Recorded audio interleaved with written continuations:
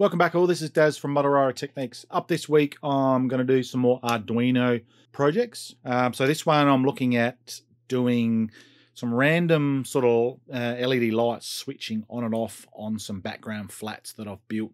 Um, obviously, it can be sort of incorporated into your normal buildings. Um, I was working in the layout room today and I was actually just looking at splitting some of my LED lights up so I can actually do it. This is not my code. Um, it's by a YouTuber called Rick Stone King. So he's got a YouTube channel called The Switch List. I'll definitely will link that description below because he's he's done some great work here in the Arduino world. So big shout out to my, all my Patreons out there. Every little bit counts. I will put a link to that below. Without further ado, let's get started.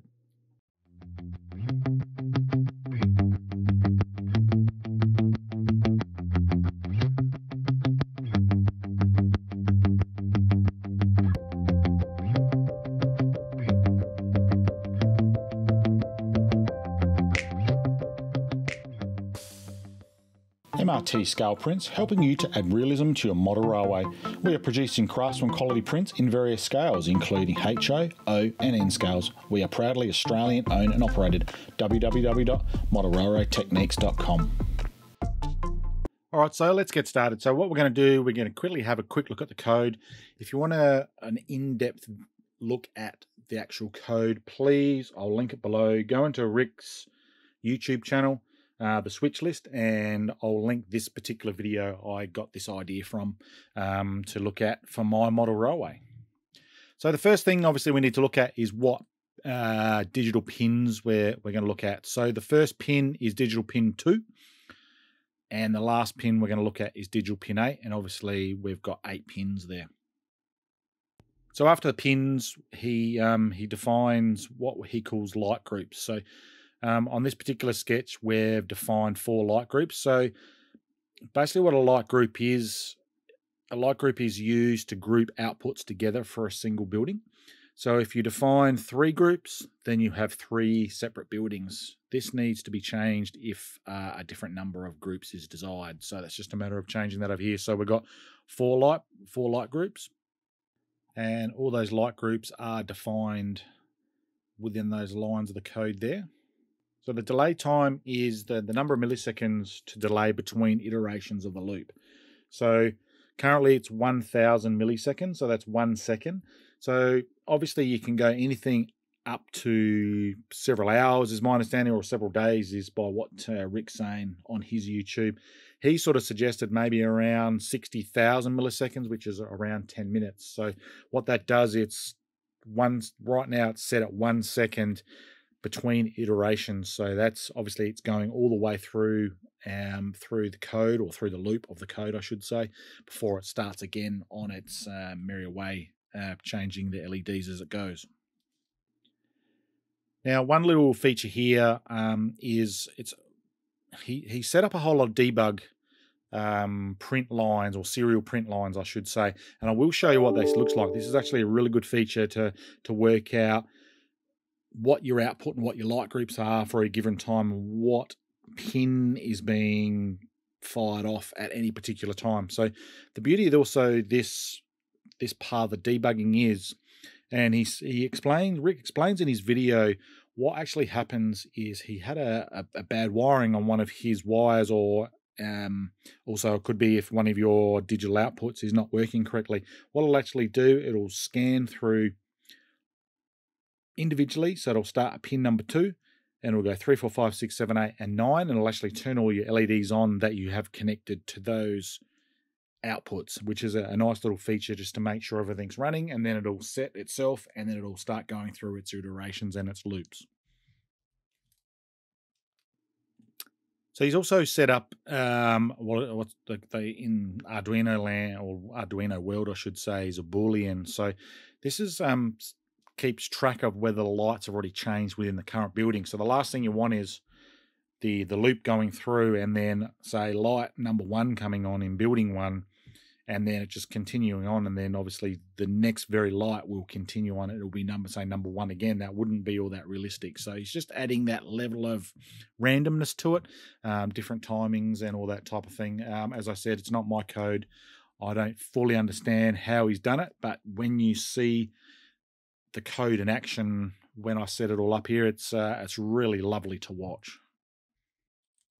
So further to that boolean, it also talks about um, also tracks the state of a, a, given pin. So either it's true or false on and off type thing, zero or one. So it's obviously part of the debugging process. What we'll have a look at in the um, the serial monitor very shortly. So currently on this iteration, the code that I'm showing you here, it's he's actually set the probability of the two light groups. So group one is zero and group two is number one. Um, that's just the way it is in this world. So he's obviously worked out, sorry, Rick has justified within it. So group zero is going to have four LEDs and group one has got three. So obviously that's a, another place you can change that. And if you obviously you're going to put you know more light groups in, that's fine. You just obviously continue out uh, those justifications to, to group two, three, four, and five if that's what you want to do. Um, if you're going to go anything further than that, my understanding, and tell me if I'm wrong, you would have to then define more light groups up in the, the definitions at the top here.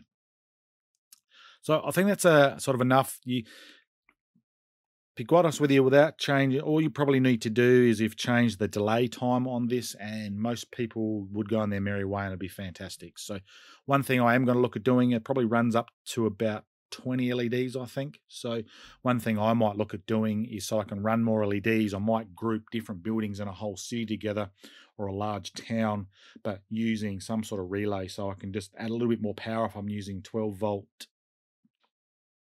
If I'm using 12 volt LEDs, just to, you know, make give more illumination, so to speak, because obviously the uh, the um, Arduino Nano has only got a particular a certain amount of output uh, in regards to how many LEDs it can actually run. So what we'll quickly have a look at is the schematics as I showed you on the breadboard. So what we're going to do is we'll start with the power supply. So there's two ways you can power this circuit up. Is you can, as I did on the bench test, either do a USB but obviously out on the layout or something similar to that or your on your little diorama, you're probably not going to have the USB connection. So the other way doing it is via this ground pin and also the VIN. So you can supply a 5 volt DC power supply to that and that'll be plenty to, to run what we need to do. So what we'll do, we'll then run across the top here. So we We'll start with the LEDs. So we're going to go digital pin number nine is going to go up to the anode. And then we'll just quickly run along. So we got a digital pin nine, eight, seven, six, five, four, three, and 2. So that was all defined in the sketch that we talked about just before. So pins, digital pin 2 to 9 will control these. So what we then need to look at doing is now obviously LED you can power any way you want. You can either have the, the resistor as my understanding on the anode or the cathode. So I've chosen to do it on the anode. So then obviously on the cathode, the negative side, I just run that back to a negative bus here, which is connected on the ground of the Arduino. So each LED has one of those. So now this is a little bit, uh, I've just looked at this photo, it's a little bit incorrect, I should say, um, in, just in regards to the way I've set the um, the lighting groups up. So the, in my version, the lighting group, I had four LEDs in lighting group zero, and and then four in lighting group. So that's pretty well the just the connection. So it's it's quite easily connections to this. So you got just to recap, so you've got either your, your 5 volt coming in on your USB or your 5 volt coming in on your VIN or your ground pin. You have a ground out for your LED for the cathodes. And then on the anode, you I I chose on this occasion to have the uh, resistor. So you probably, depending on how bright you want the LEDs, maybe around a thousand and then each LED has its own um, resistor in that regards. So what we've currently got there is it going through its motions now. Unfortunately, just the just due to some of the, the, the brightnesses of my LEDs, they are a little bit hard to see. So what I'm going to do, I'm just going to quickly push the reset button on the Arduino and we'll see if we can pick that up. And you'll see it will flash through all the different LEDs. You can see that the LED 8 and 9 are a little bit uh, a little bit slow or a little bit uh, not high intensity illumination. So so that's basically what it does. So when you the, you set the system up, um, so when you set the system going, I should say, or the sketch going, it just goes through all the different LEDs that are connected to the to each of the individual pins, and that gives you a little bit of uh, just a visual fault finding just to make sure if one of them, for whatever for whatever reason doesn't fire off, means you might have an issue with the digital pin, or probably more likely to to do with your wiring. So what we're going to do here quickly is I'll quickly clear the output. So I'll quickly bring the output, uh, the serial monitor up to you. So you'll see what it does. You'll see it, it will scroll through all the pins.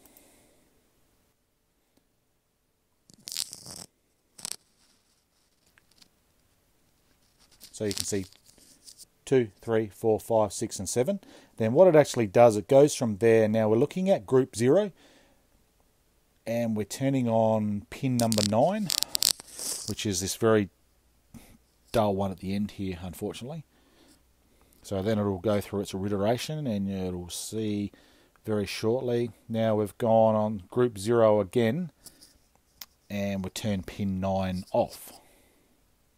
So it's obviously very random, so you can't actually pick uh, what, what lights are going to go on next. And I suppose that's the beauty of this, um, this sketch. Let's just turn the auto scroll back on quickly.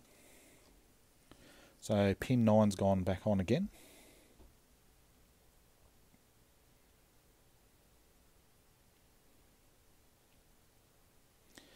Now we're looking at pin number two. So obviously that's our first pin that is now fired off.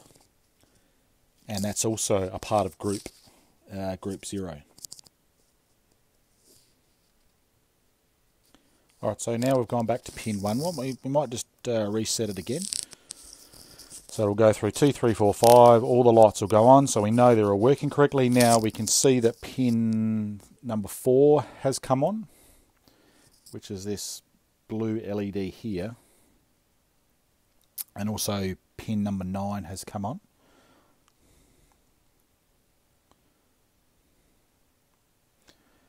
Pin 2 has just fired, and so pin 2 is a part of group 0 and pin 3. So the, basically the way the groups are here, so the first three, so the first four LEDs are group 0 and the, the all the rest are, are, are group 1. So pin 3 has come on, group 0. Pin nine's come back on.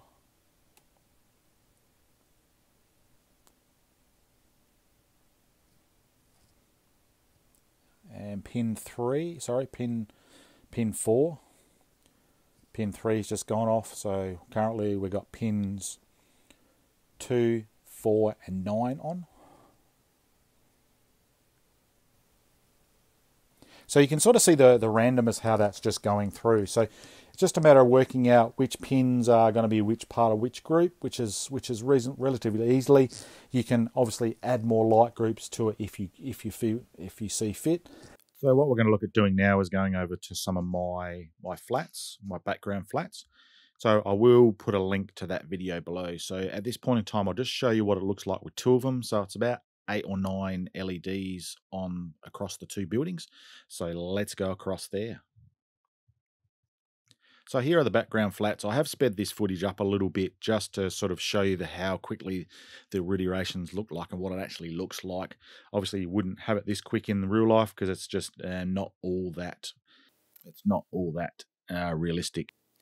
So we'll call that a wrap. So that's at the end of the video. So let's just recap a little bit what I what we went through. Obviously, we looked at the code briefly. I will link to the the original code on the Switch List YouTube channel.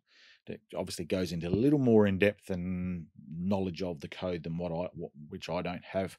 So we looked at uh, the connections to the digital pins. We also looked at how it might integrate with my background flats or how whatever buildings you want to put it on. So um, please comment below if it's something that you would probably look at using or have more knowledge of the code than what I do. I think it's a fantastic little code. Um, definitely the designer has done a great job there. So as I said, I will link to the description below.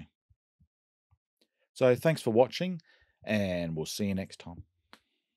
Make sure you subscribe, click that little bell icon to be notified of upcoming videos. Support us on Patreon, like us on Facebook and Instagram at Model Railroad Technique.